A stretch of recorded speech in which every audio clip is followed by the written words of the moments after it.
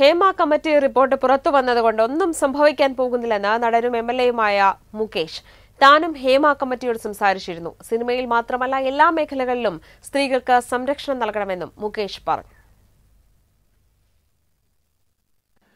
അതെല്ലാം ഈ പറയുന്ന പോലെ ഒന്നും ഒരു കാര്യമില്ലാത്ത സംഭവങ്ങളാണ്. എന്നാണ് എനിക്ക് തോന്നുന്നത്. ഞാൻ വായിച്ചിട്ടില്ല. ഞാൻ പക്ഷേ ഹേമ കമ്മിറ്റി ആ അവിടെ പോയിട്ട് ഞാൻ നാല് മണിക്കൂർ അവരുമായിട്ട് സംസാരിച്ചു. അപ്പോൾ അവർ എന്നെ അപ്രിഷ്യേറ്റ് ചെയ്യുകയും ചെയ്തു. പിന്നെ എന്താണ് എഴുതിയതെന്ന് വേറെ ആൾക്കാർ എന്താ പറഞ്ഞതെന്നൊന്നും എനിക്ക് അറിഞ്ഞൂടാ. പക്ഷെ അതൊന്നും അൾട്ടിമേറ്റ്ലി അങ്ങനെ ഭയങ്കര ഒരു ഡാമേജിങ് ആയിട്ടൊന്നും വരുമെന്ന് എനിക്ക് തോന്നുന്നില്ല.